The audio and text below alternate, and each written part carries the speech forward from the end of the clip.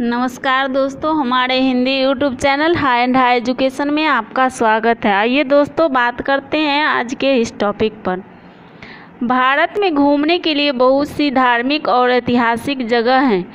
कुछ लोग धार्मिक जगहों को देखने के बहुत शौकीन होते हैं।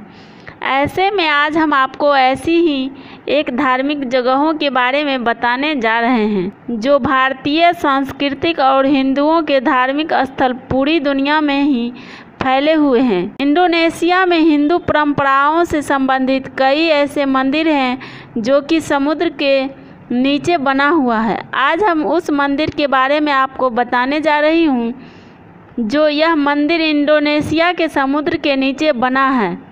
यह मंदिर काफ़ी साल पुराना है। यह मंदिर भगवान शिव को समर्पित है और इसमें स्थित भगवान विष्णु और शिव की मूर्ति लगभग पाँच हज़ार साल पुरानी है। समुद्र में स्विमिंग करते लोग इस मंदिर को देखने के लिए ज़रूर आते हैं। समुद्र के नीचे स्थित यह मंदिर देखने में खंडहर जैसा लगता है।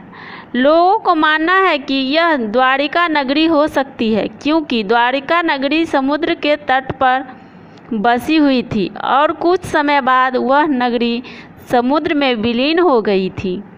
भगवान विष्णु और शिव के अलावा यहाँ और भी बहुत सी मूर्तियाँ हैं, जो कि पुराने समय में होने वाली पूजा को दर्शाती है। हिंदू भगवान के अलावा यहाँ पर बुद्ध भगवान की भी बड़ी से बड़ी मूर्तियाँ हैं।